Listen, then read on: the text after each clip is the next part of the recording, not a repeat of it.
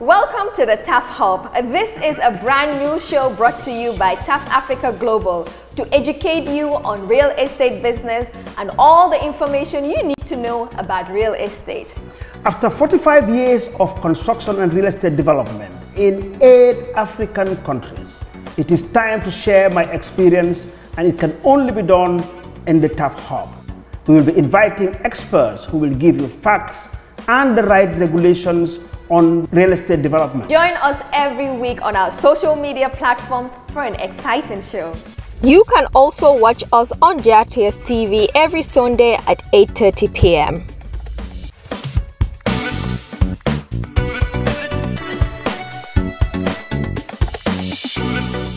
As you know, the TAF Hub is one of the initiatives under the TAF Africa Foundation, and we are trying to inspire the youth of this country. We cannot do all this by ourselves, so we look out to Gambians who are doing so well in the diaspora and about to come on holidays to the Gambia. If you know anybody that can inspire the youth that is doing so well in their own areas, please send us an email on this email that's shown on the, the screen. Welcome to the Starfish Land. This is where the ultimate vision is supposed to happen. So we're hoping that someday we'll have an academy here. Yeah, yeah. Yes. So, so um, uh, yeah, I was just asking them how, how big is the land? It's eight hectares. Eight hectares, okay. So, so, so what have you done so far with it? Now that it's, it's a virgin land. We have cashew trees and mango trees. These are all exportable mangoes and then with the cashews. And now we are just impacting it. So we have uh, papaya, moringa, we have oranges, and then now we're going to start a poultry, we're going to do livestock. So that what we want to do is have it be sustainable. So when we have the animals, the manure from it will go into the plants and then um, for now, at the, this very moment, and we're building a processing center so that everything we do can be processed. But for now, we just want to reach out to the women in the neighborhood to come mm-hmm. here and see that this is theirs. So whatever cashew they get, mm-hmm. it's divided into thirds. So for mm-hmm. every two that starfish gets, they get one. and, and then they can take ownership of the land and understand the benefits. But it's going to be, um, it's going to be poultry, livestock, it's going to be fruits and vegetables. It's going to be a fish pond. And then we are also going to have processing done here. And on the other side, we're going to have the Starfish Boarding School. And we're also going to have um, a retreat because it's so big. We can have a meditation retreat center where people can come and rest and relax. But also, um, it's 3,000 steps around. So you can take prayer walks, meditation walks. We just want it to be a sustainable development that the locals can relate to. I mean, you took me to a parcel of land that you have in Lamin. Yes. You know, by the way, when we were going, you know, uh, I was asking, um, I think, uh, my PA, where are we heading to? You know, it was so bushy, taking all the tracks. Yes. But, but, but tell us what your dream is about this land.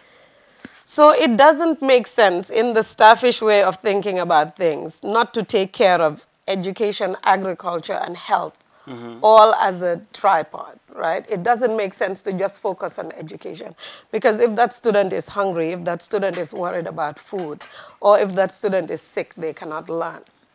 So the land and agriculture, particularly in the Gambia, it makes perfect sense that we are able to leverage the rich land that we have to help ourselves to support young people, to take the stigma away from farming, and to see how profitable it is. And so that's really part of what the land is for. Um, but in addition to just gardening and farming and selling those crops, we want to look at the trees on the land, the, the mahogany trees, the keno trees, the fig trees, and look at our history. How is it connected to the flora and fauna of this country and what does that ask us in terms of development. We also want to have a space there, a meditation center, uh, a rest area there where people, when they're stressed out in their lives, can go away into the bush, what is known as the bush, and then to be able to just rejuvenate. And, and we also want to look at sustainable development. How are we connecting education to sustainable development and sustainable technologies? So solar power. Or when we look at all the twigs that we use for the charcoal, how do we teach the students that our grandparents and great grandparents are doing physics and chemistry um, with charcoal making? And how does that inform their sense of history and their pride in who they are as Africans and how smart we have always been? And finally, we want that land to be a human library because it's so big and it's so beautiful and it's so shaded. So people like you, if a student said, I want to have a personal interaction with somebody who grew up in skills and has come back to develop this nation, we will call you and call the student and there'll be a private area where they can sit and talk to you one-on-one. Mm-hmm. And then if they say, I want to talk to somebody who has been raped, in a private area. So this is not a place where you would just go get a book. We will have books there and a mm-hmm. library there, but also a human library where they can have the privacy mm-hmm. in order to interact with real live people who are really the librarians and the custodians of this culture. So Right, those are the so- plans for the land. But, but those are the plans. But do you have any ongoing projects now Yes. As, so as we speak? every project at Starfish has to sustain itself. Mm-hmm. So when we talk about the land and all the things we want to build there, yes, we're hoping that people will invest and funding will come, mm-hmm. but we have to start by showing what we can mm-hmm. do. So we've started a banana plantation there, we've started a, an orange plantation there, a papaya plantation there, and we've started a, a vegetable garden there. And then in the next year, we're expanding to pigeons and we're expanding to rabbits. We're going to do fish farming and we're also going to do poultry. So by December, January, we want to get our people trained in poultry. And then we're already building the, the housing for the rabbits and for the pigeons. Wow, excellent. I mean, that's all part of um, my next question, which is your vision, your staff's vision for agriculture. So the Starfish vision for agriculture is very, very simple. It's that when you do gardening and farming right, you should be able to feed yourself completely. You should be able to share it in different ways, financially with those around you. We have a, a big tourism industry here. There is no reason why we cannot provide for those hotels. There is no reason why oranges should be exported from outside. All the things that we, onions, you name it, everything that we export, we can actually put our young people to work. They can feed themselves and their families. The extra can be sold and then invested back into the community and the country. So that's really one of the goals right now for the vision of agriculture. The second one is people have to have a place to go and train and to see it work. And the land is big enough to do that. And thirdly, you learn best what you grow up with. And so we're going to do a boys' academy and a girls' academy there, where most of the time, if you look at education, if it's a prestigious place, you usually just have kids from rich families. We believe that kids from financially challenged families have a lot to teach kids from um, financially comfortable families. And mm. so, what can a kid from a poor family, if you will, teach somebody about resilience, about working hard, and so on and so forth?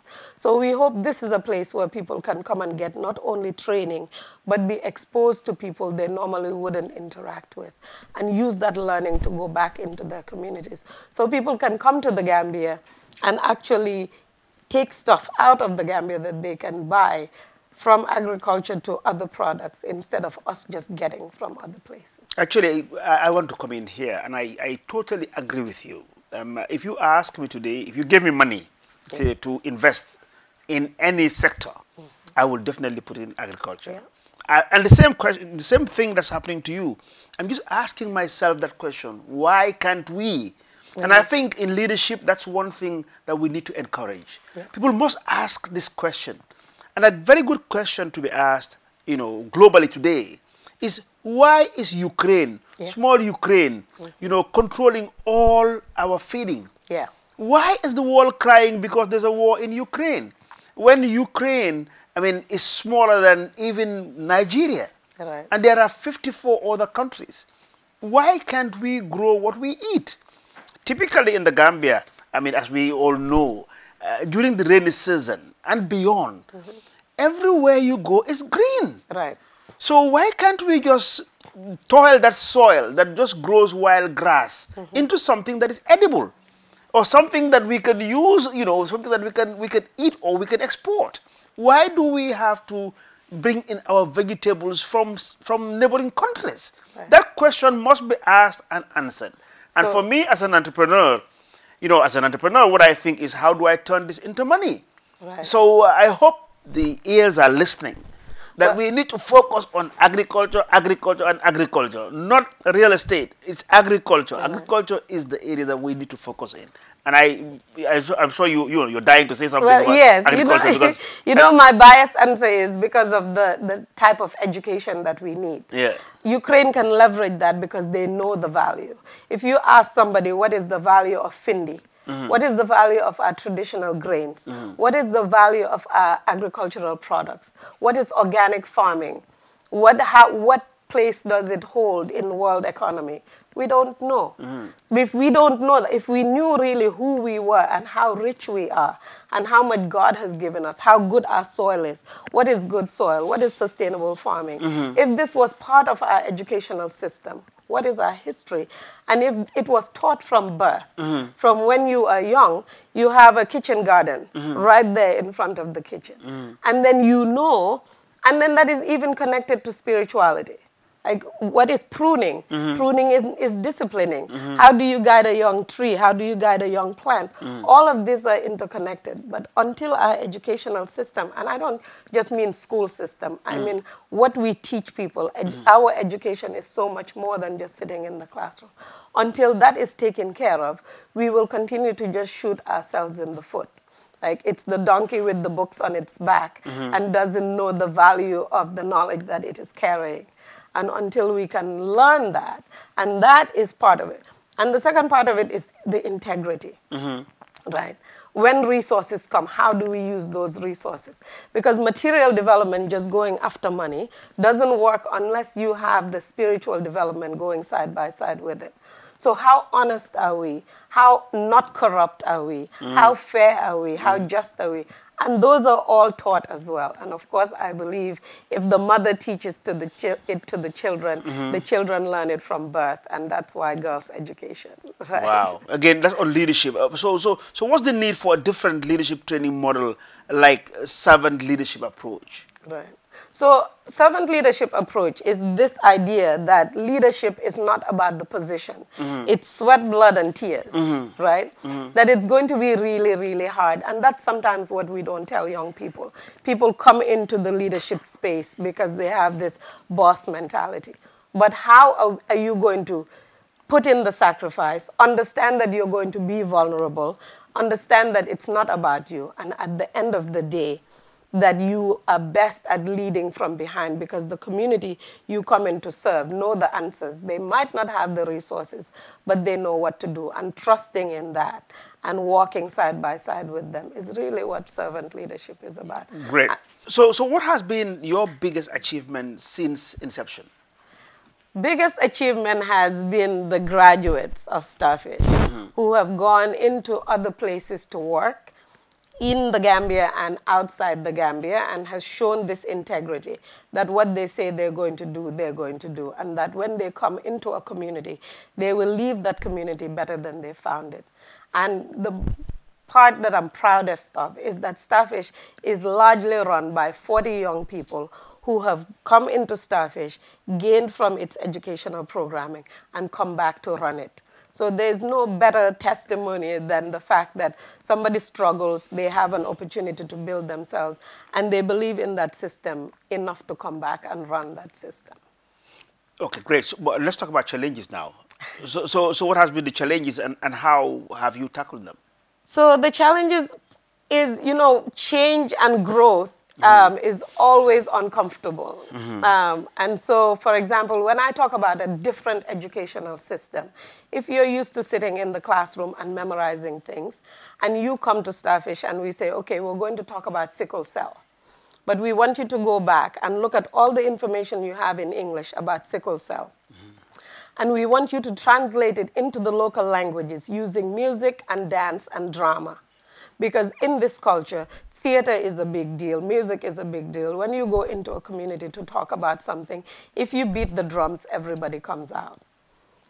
if we're doing that educational process at Starfish and somebody outside hears it, Mm-hmm. they think, oh, people, these kids just drum and dance every time at Starfish. They're not doing anything else. yeah. yeah. And so dealing with the parents about that had been a challenge. And so we have an open door policy where parents can come in at any time and see what we're doing. The other one is when you say service into the community and that this is not a free ride.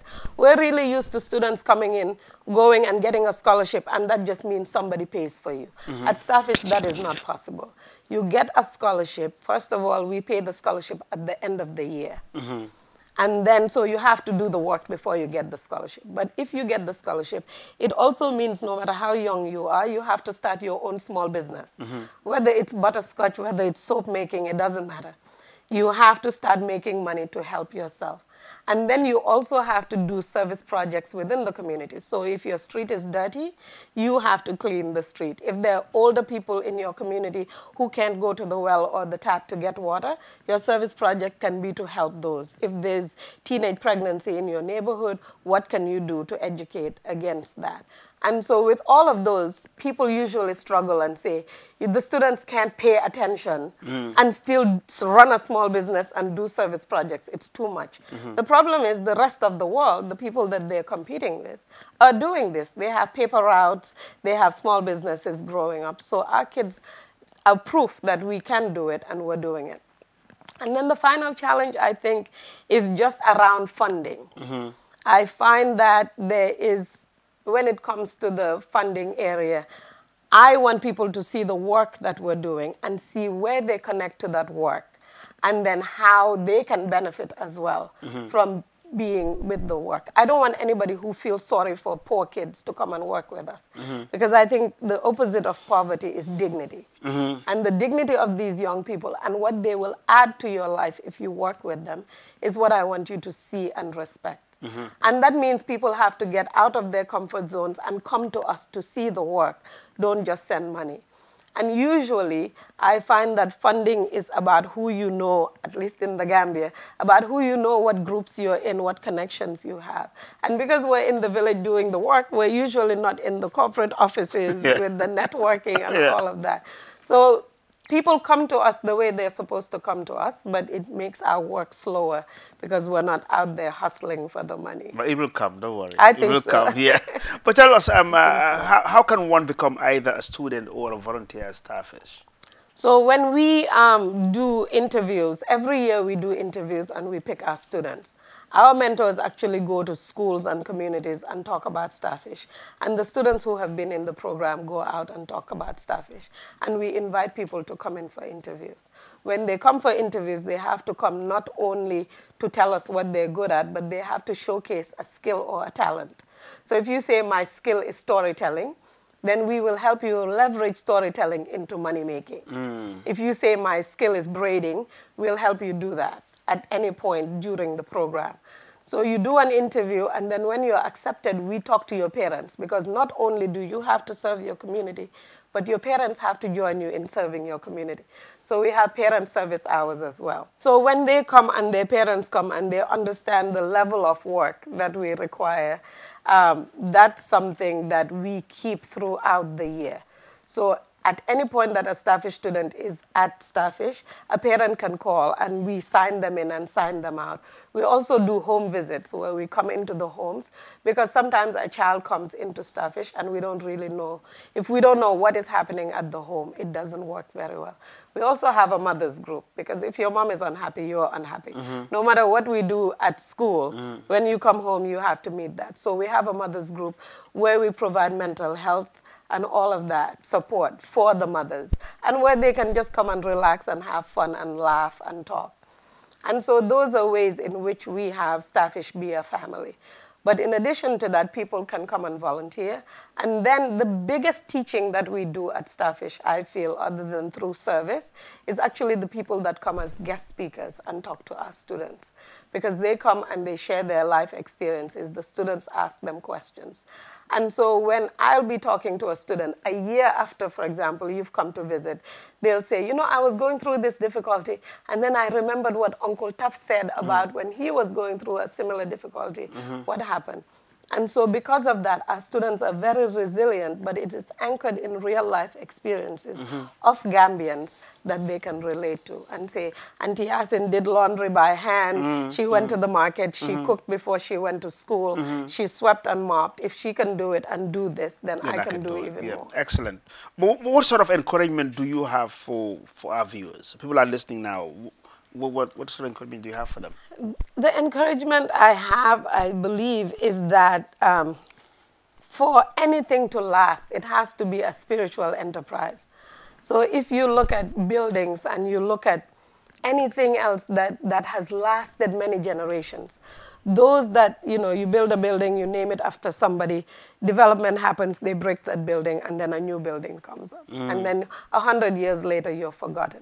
But it is those things that you do for God's sake. It is those things that attach to another person's spirit mm-hmm. that keeps your work alive. Mm-hmm. And so when we look at that, we have to think about integrity always, doing what is right instead of what is easy. Mm-hmm. And so doing what is right in our context means that there are a lot of people suffering all around the world. And we each have to look at ourselves and say, what do I have to offer the world?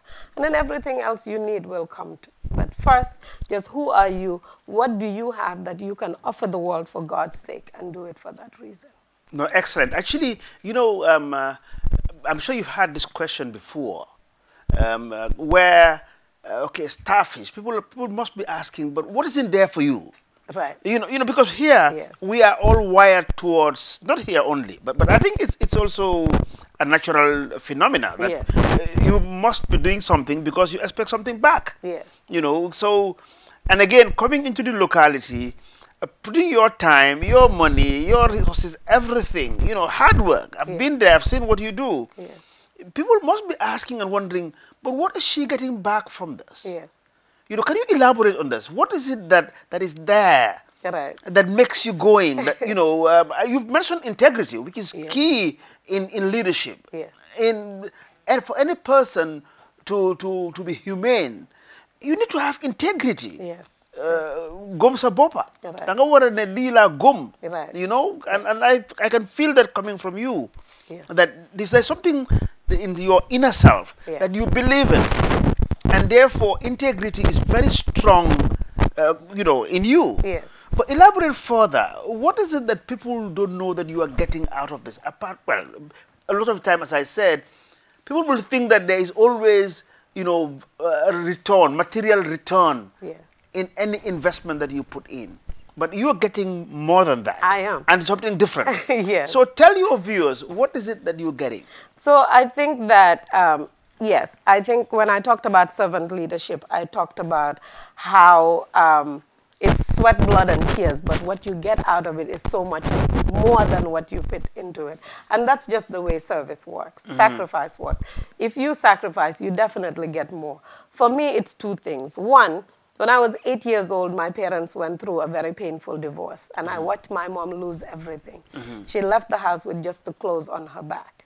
And I watched her build, she lost custody of the kids, all of it. And I watched her build herself back up. She got a job, she got an apartment, she regained custody of us, and she has sent all her children to college. Looking at my mom suffer at eight years old, I thought, when I grow up, I want to do something so that no woman feels as helpless as my mom must have felt that night, and no girl feels as scared as I felt that night. And so for me, this is healing. The more girls and women and boys that I help through to find their true selves and their spiritual selves connected to being financially independent, the more hope I have that there will be less suffering in the world because mm-hmm. of that. So that's big. But secondly, it orders my life. So I always say I can stay anywhere and go to sleep right away. Because these young people challenge me always. If it comes to vulnerability, if it comes to honesty, whatever spiritual quality I want to work on has to be tested in the field. Because I'm an example for them, but I'm also working with them. So they have to see all of that. And so it makes me a better human being, I feel like. And then most importantly, I think my kids. My kids, when they watch me talk about how you serve the world, they're right there seeing it. And so the different people that they interact with, when they interact with you, other people, the starfish girls, they are challenged to be better human beings. And I feel like the best gift you can give this world is to leave a generation that is better than you. And so I always say I'm the richest Gambian I know because the generation I'm leaving behind not only gives me hope, but gives my parents hope and gives future generations hope. Today we ended up a visit to Starfish in uh, the new land that they have. It's, a, it's an eight hectare land and it's very futuristic. Uh, I've gone around with uh, the founder or the co-founder, Madam Yas, Imam Yassin Sarr, you know, and we've walked around, uh, looked at um, the existing trees, uh, you know, which is a very, um, uh, what is it, ex exquisite? Yes. Yeah? Yeah. And? And mesmerizing. you know, I've been in the background, but you know, use more Dega Angale. She's the one who speaks very good English. But anyway, look, it was fun. Um, uh, and I, as I said earlier, I would urge, you know, uh, us as Gambians to embrace, you know, initiatives like this. Uh, she's here in the background doing a lot of work for the community, for the country. And uh, this is her vision. This is the, what she's thinking for the future. Um, I cannot list everything out. All we want to say is uh, one word, and I have to translate this in, uh, from Wolof to English because my spiritual father, that everybody knows, Sayyid Abdul Aziz Al Amin, always tells me this. He says, Mustapha, jërëjëf baat bu tuuti la waaye ku jërëjëf. Thank you. Jërëjëf, Uncle Taf. And one of my favorite words in Wolof is nyoko boga. waaw So nyoko boka, whereas in English you say you're welcome and you take all the credit. Yeah. Nyoko boka means I wouldn't be here if you weren't here. You Ubuntu. paved the way, Yeah. you continue to pave the way and to support. Today you came and you spent your whole afternoon here. You've gone everywhere we wanted to take you. And I think with every single part, whether it's the young people we're working with or the land, I love the sense of positivity and I was telling them the sense of honesty that you have. For me, that gives a sense of safety in safe spaces. And I always say a safe space cannot be a safe space if there isn't honesty in it. So thank you. You've challenged us, you've inspired us, you have supported us, and we think anything else that comes in the future is a bonus. I think that this visit will be a time where we can say somebody in the Gambia came and they believe, just like we do, that if our dreams don't scare us, Yeah. if they're not big enough to scare us, then we're not dreaming not dreaming, properly. yeah, so yeah. thank you for seeing uh, what we see, that health, education, and agriculture is something within reach for all Gambians, and that the young people are the present and the future, and that together we can do this. If we're infighting, it's because we don't understand the assignment, which is there's enough work for everybody to Yes, do, and we can all see where God calls us to do our work, and then we do it. So thank you, Thank you so much. for coming and Just stop here, supporting us. bala maa jooy man Thank xam nga. Welcome to the TAF Hub. This is a brand new show brought to you by TAF Africa Global to educate you on real estate business and all the information you need to know about real estate. After 45 years of construction and real estate development in eight African countries, it is time to share my experience and it can only be done in the TAF Hub. We will be inviting experts who will give you facts and the right regulations on real estate development. Join us every week on our social media platforms for an exciting show. You can also watch us on GRTS TV every Sunday at 8:30 p.m.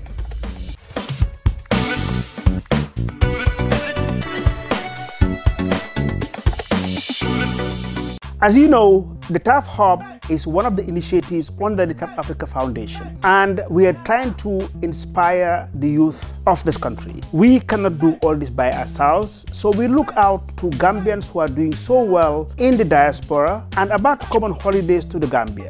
If you know anybody that can inspire the youth that is doing so well in their own areas, please send us an email on this email that's shown on the, the screen.